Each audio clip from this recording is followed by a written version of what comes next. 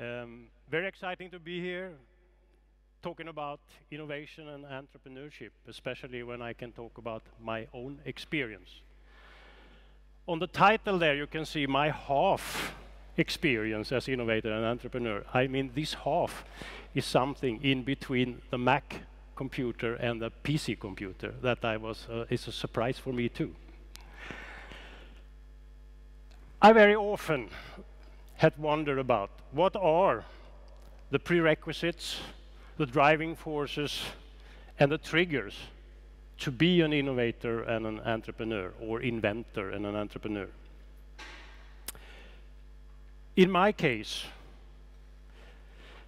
the prerequisite has very much been this, my father's workshop.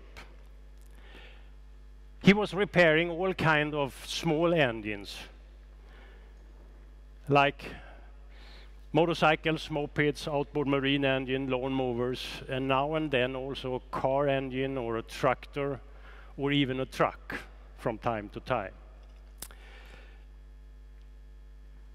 And he always joked with me and said, what if you can invent an engine that always starts and never fail? And that I have buried with me all my life. And um, of course, this small engine, I was forced to work with him on my summer vacations and summer holidays from the school and all that. But uh, when I got my driving license, I was more interested of cars.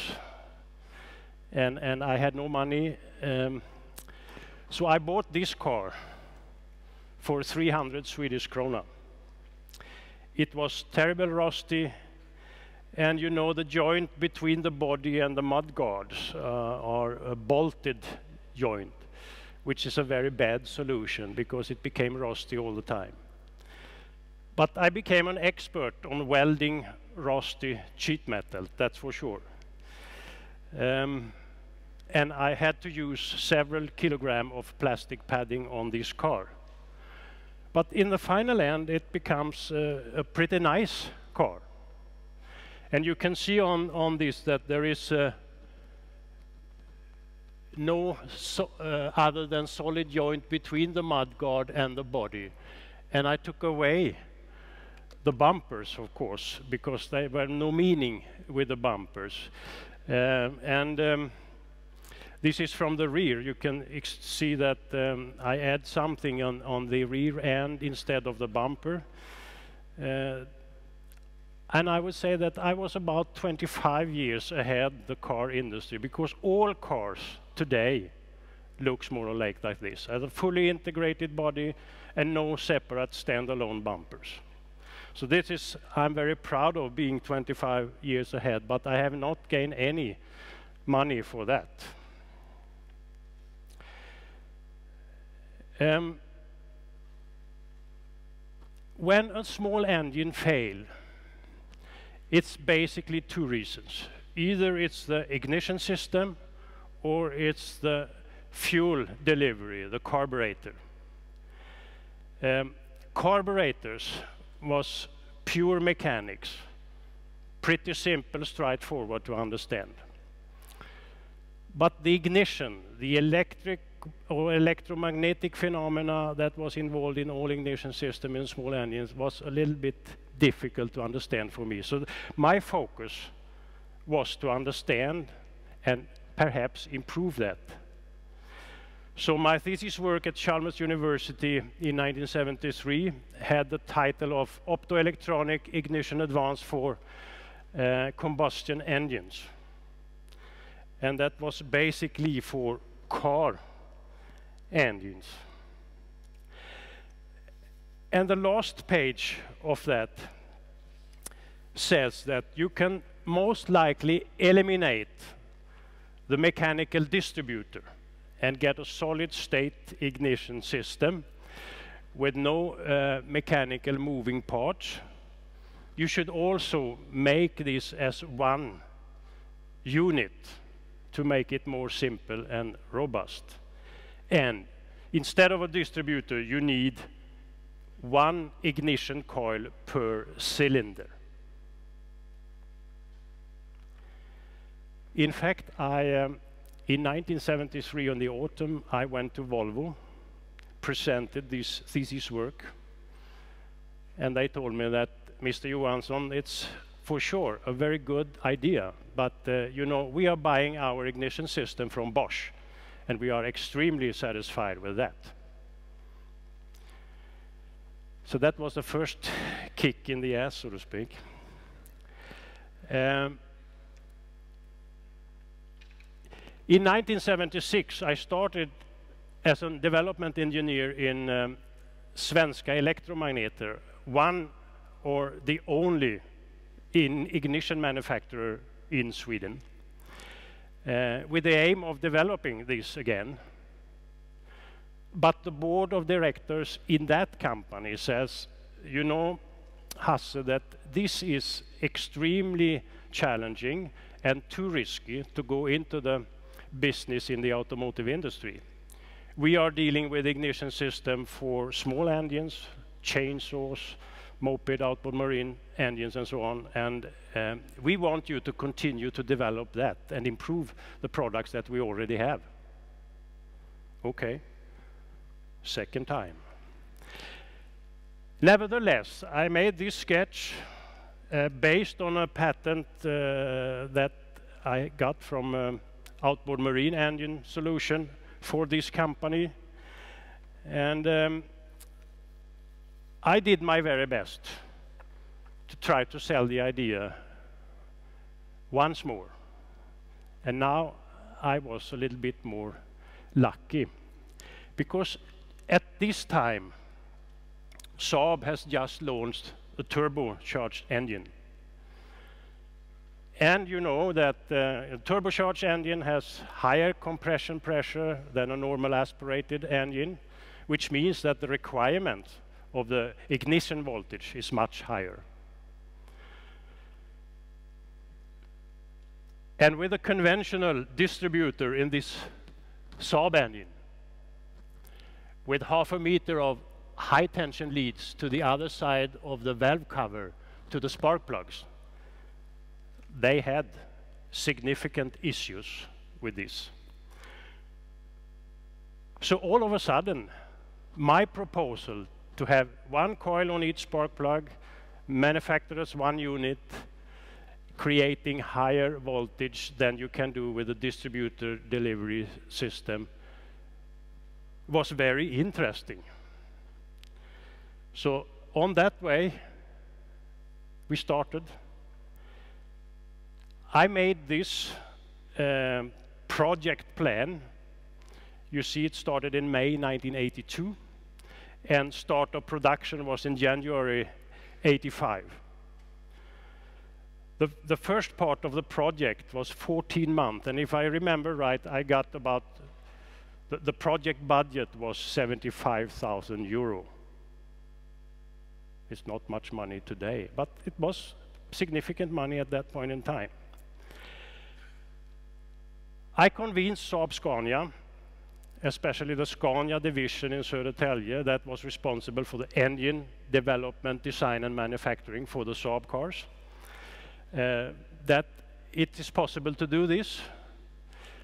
Uh, I got the contract under the condition that I had to give away all intellectual properties for free to Saab Scania. Then they would be able to pay an hourly rate for me to develop that and that was the trigger to starting my own engineering company, Mecel AB, in 1982. I started that with a colleague. Uh, we were three employees to start with, and um, we really were successful with these each step. And in the contract, it says that if you don't deliver what is written after each step, we can break the contract without any uh, penalty fee or something to you. So that was a pretty tough business environment uh, you have to survive as an inventor.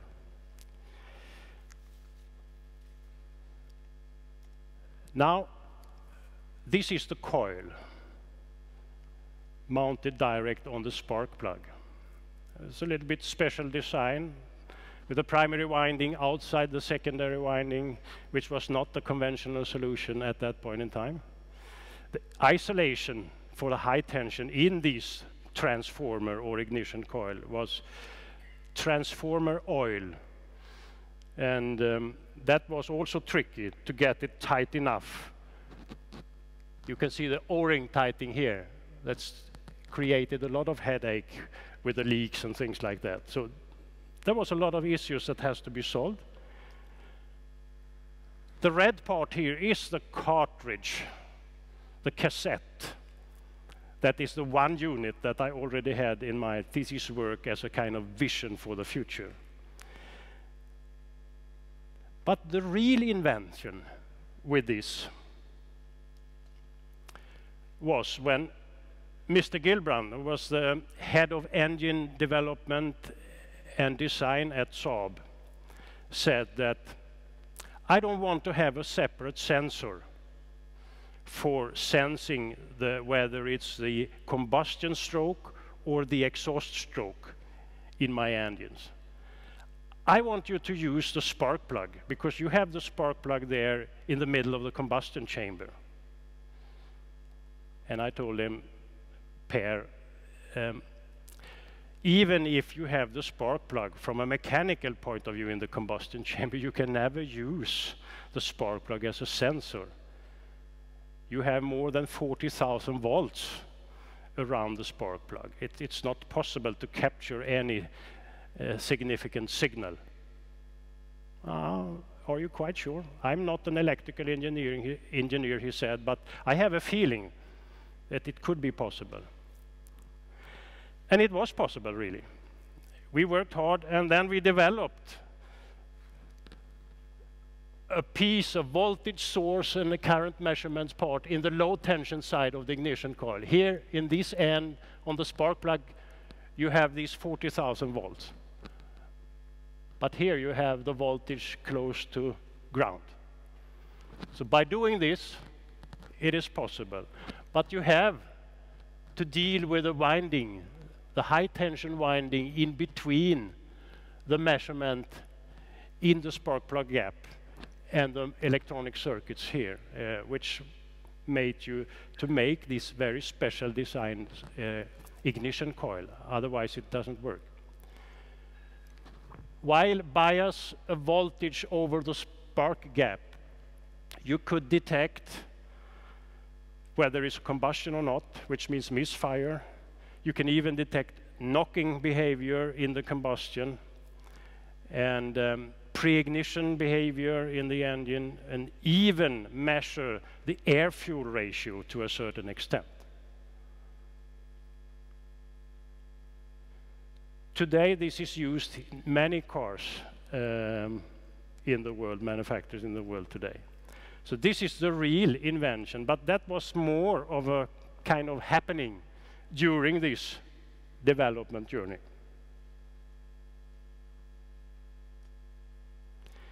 And this created the Trionic engine management system where you integrated all these functions for controlling the engine and the uh, combustion, turbocharging and all that.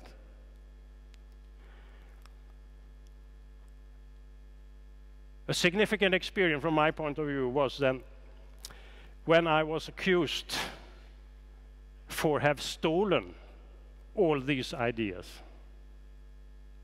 from somebody else. And that was in the beginning, before I got the contract from Saab. I was eager to launch this idea. I talked to many people, explained my ideas to many people, and all of a sudden, one certain person took this and then applied for a patent which was not accepted, uh, of course, as I had already uh, uh, filed my patents on this. But nevertheless, this was a kind of mafia situation with American lawyers.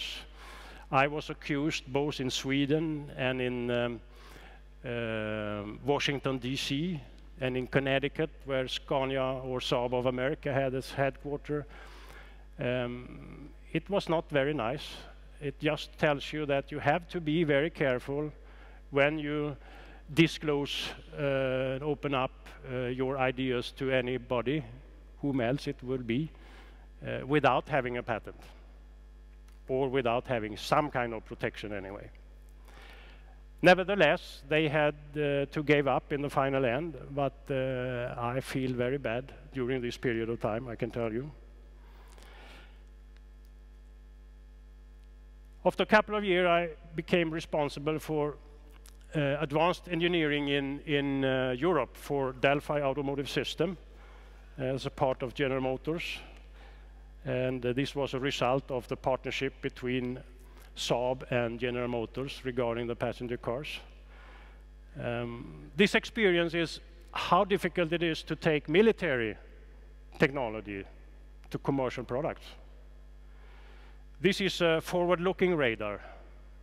And in the fighter aircraft, they had a forward-looking radar with mechanical scanned antennas. It was quality assured for fighter aircraft.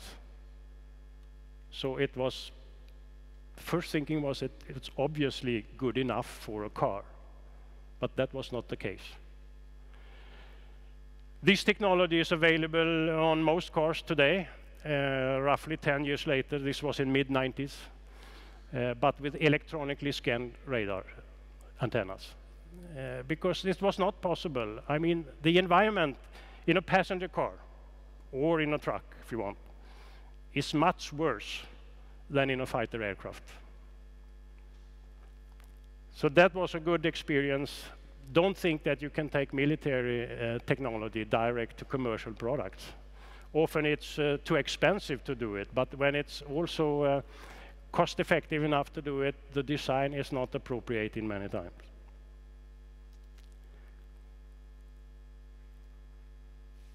Another experience from my um, time at Scania is it difficult to have the politicians to take appropriate decisions, even if it's obvious. In this case, when it comes to aerodynamics, you can reduce the air drag of a truck by having a 1.5 meter long tail on the trailer with 5%. 5% is about 10 years of engine development. And you can imagine what that costs you. Well, you have about 1,000 engineers uh, working with engine development for 10 years. Um, this will cost a couple of uh, hundred euros uh, the key here is that you are not allowed to drive longer vehicle combination when it comes to trucks than 16.5 meter in Europe, except for Sweden and Finland, where we are allowed to drive 25.25 meter long. But politicians says that global warming, CO2 emission is extremely important for us. We have to reduce it. We have to do whatever we can to do it. In this case, they can reduce it overnight by changing the regulation of length of the vehicle combination. They could reduce the emission with 5% immediately. Nothing happened.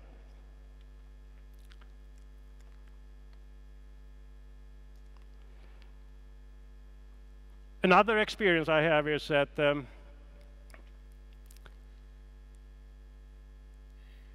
It could also be a lot of internal resistance. These driving support, launched as a product, Scania Driving Support, something that we worked with about in, in, in three years at Scania and on development. And during that period, that was at least 50% of all engineers, all the management says that this is nothing. This is nothing that the driver uh, uh, accept this is nothing that the driver like. This is nothing that, uh, this is something that we should not introduce to the market. I was driving this very hard, and in the final end, in the autumn of 2009, we launched this, and it became a success. It's a device, you can call it the real-time driving learning. And you can, if you are a appropriate driver, you can have this number at 100%. It's uh, hill taking, it's um, prediction of future braking need, and this is braking uh, um, behavior, you can say, then this is gear shifting. And, and if you do that in the most appropriate way, you have 100%. Uh, my experience driving many times with these kind of equipment is that you can keep it at 100% for about one hour. Then you are too tired to continue, which give you another signal saying that you, you need a more kind of autopilot to keep these at 100%. So there is a second step in this development. And I hope that Scania would launch that within a couple of years from now anyway. Last slide is back to the decision, lack of decision, I would say, again.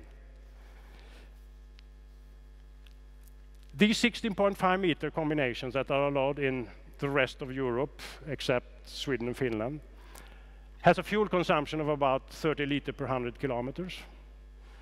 If you increase the length to 25.25, which means that you get 50% more cargo. You only increase the fuel consumption with 20 to 30 percent. Uh, the difference in this number, 35 to 40, is dependent on what kind of total weight. This 16.5 in Europe is a 40-ton combination, total weight combination. Uh, in Sweden and Finland, we are allowed to have 60 ton on this 25.25 meters. So if you have a 60-ton combination, 25 meter, it take about 40 liter. But if it's still 40 ton, it's only 35. And that means that you can reduce a CO2 emission by around 20-25% per transported ton kilometer immediately. And this is allowed in Sweden and Finland, which means it's also allowed in every single European Union country. So there is only a decision that has to be taken, and then overnight you can reduce the CO2 emission by 20 to 25 percent. I'm still waiting for the decision to be made so we can reduce. But um, so far, there is no decision. And now you may ask probably why. And if you listen very careful in the corridors in Brussels,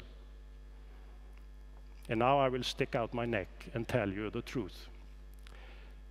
It says that we can't allow this 25 meters combination because in that case the road transport will be too efficient and too competitive compared with the railroads. Thank you very much.